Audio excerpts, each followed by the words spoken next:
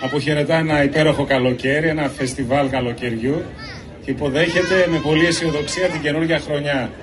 Χαιρόμαστε που βρισκόμαστε εδώ μαζί με τον Στέλιο Ρόκο και τους συνεργάτες του, αλλά μην ξεχνάμε ποτέ όλους τους ανθρώπους που δούλεψαν για αυτή τη βραδιά.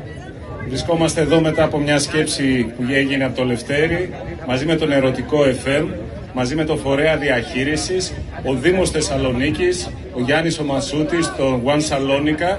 Είναι όλοι αυτοί που δουλέψαμε όλο αυτόν τον καιρό για να είστε εσείς και να απολαύσετε το Στέλιο Ρόκο, τη μουσική του και όλη αυτή τη μεγάλη παράδοση της ελληνικής μουσικής. Λοιπόν, απολαύστε τη βραδιά.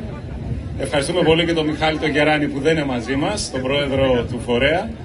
Αλλά